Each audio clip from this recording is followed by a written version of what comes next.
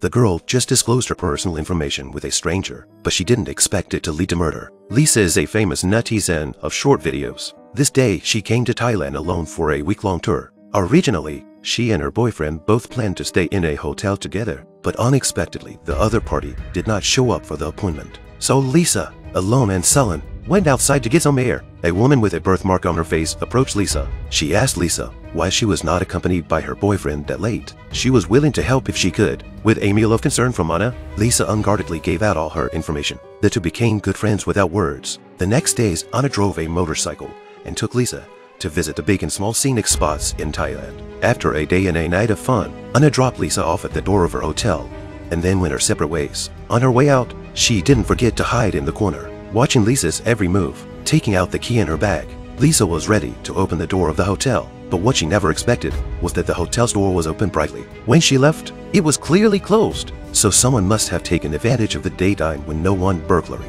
So Lisa carefully walked towards the hotel. When she came to the bedroom, what met her eyes was the scene of being rummaged through and disorganized. Even the passport in the drawer was gone. Obviously, the thief knew himself very well, so Lisa made the first call to the police. Then Anna also rushed to the scene of the crime. She reassured Lisa that she knew the process of replacing a lost passport very well. She had done it herself before, and all she had to do was fill out the form with specific personal information and give it to the police. Even the password for the bank card had to be truthfully labeled. With that, Lisa filled out the form with Anna's guidance. While waiting for her new passport, Lisa told her boyfriend about her temporary inability to return to her home country. She hoped that the other person would not worry and that they would see each other soon. That two were talking. The boyfriend thinks Lisa must have been playful and didn't want to come back to say the excuse on purpose. That two had a big fight, and Anna, hiding in the corner, heard it all. The next days, she was trying to get Lisa to relax, so she piloted a small boat and took her to a deserted island. It was just the two of them here, and they could release their inner depression.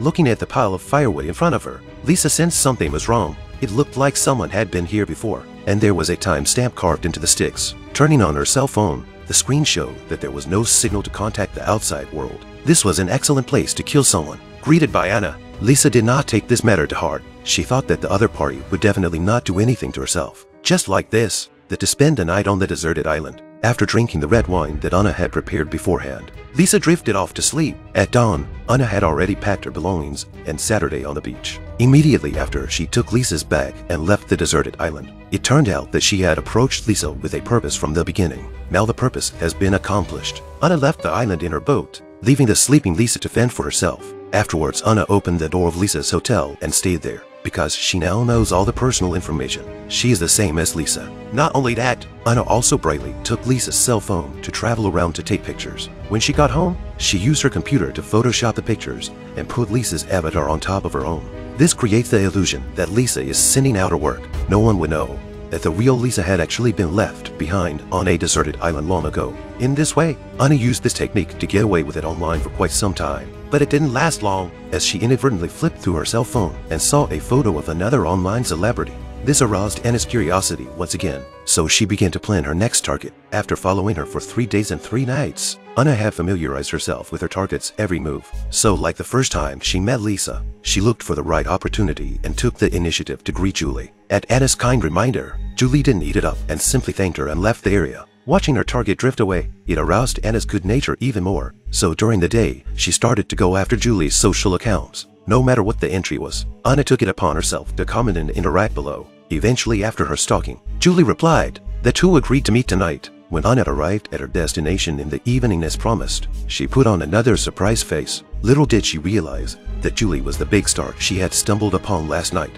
She didn't recognize it at the time. With a compliment from Anna, Julie let her guard down. The target finally took the bait, and the next step was to sell her misery to gain sympathy. So Anna made Lisa's ordeal about herself. Her boyfriend broke the contract at the last minute, which is why she came to this unfamiliar Thailand. Seeing how miserable Anna was, the kind-hearted Julie decided to accompany her back to the hotel for company. Leto followed Anna's lead and arrived at Lisa's hotel. What she never expected was that the table in the center was somehow set with two goblets. Immediately afterward, a man came out from the corner. It turned out that the man in front of her was Lisa's boyfriend. He came to Thailand after knowing that Lisa might be in danger after her passport was stolen, in order not to let the other party reveal his identity. Anna had to say that she was Lisa's good friend. She had something outside tonight and could not come back for the time being. She temporarily stayed here, unexpectedly. The stupid Mark really believed Anna's bullshit. In this way, they to spend the night in the hotel. The next day, Anna opened her laptop and used the computer to synthesize a voiceover of Lisa and dialed Mark's phone. On the phone, Lisa directly announced that she broke up with Mark without any reason and hung up immediately afterward. After the deed was done, Anna acted as if nothing had happened. Julie, in the evening, took the initiative to call a cab. After realizing the cause of the incident, she thought she was a bit of a nuisance to the other party, so she wanted to get out of here, and that Anna didn't own the place, but it was like her own home. So she reminded the other person that she should behave herself. After all, Lisa was the owner of the place. Immediately after that Julie handed Anna the 200 tip. She didn't want to take advantage of anyone. Looking at Julie's action, Anna felt insulted. So with a yank on Julie's hair, she decided to kill the man. Just as Anna was lowering the body into the combination box, there was a lot of blood left on the floor, so she squatted down and grabbed the battlefield to clean it. But in the next second, Mark came in from outside with a friend he just met. Luckily, he didn't notice the blood on the floor, so Anna was relieved and picked up the fruit knife on the table. She made her way down the stairs to Mark's room. Just as Anna was about to kill someone, the cell phone beside her suddenly rang. The picture on it was a picture of her with Lisa. It also proved that they knew each other before, so Anna gave up her plan to assassinate Mark and instead became fond of him. It was because since she was a child, all her friends around her teased her with the birthmark on her face. That's why Anna did all these extreme things in order to enjoy the life of those beautiful women. Despite Anna's best efforts to seduce Mark, the other man did not work because Lisa was 100 times prettier than her. Afterwards, Mark sneaks into the bedroom while Anna is leaving the hotel and opens his backpack, which contains a diary and on it is recorded the whole process of Anna's murder. Knowing the truth, Mark took out a weapon and put it in his hand I did not expect the seemingly weak woman, but she was so ruthless. Just as the two collided, Mark picked up a stone and smashed Anna into unconsciousness. Immediately after that, he tied her to a chair and tortured her. Under interrogation, Anna told the story of Lisa being stranded on a deserted island, followed by claiming that she could lead the way, and so the two made their way to the harbor during the night hours. But in the next moment, Anna, who had broken free from her bonds, pushed Mark into the sea from behind. She then grabbed a rope and strangled her partner, back to the shore to adjust to the state. The next day, she drove a small boat to the deserted island, where Lisa was trapped. Being trapped here for five or six days, surely she would be starved to death alive. But what Anna never expected was that Lisa not only did not die,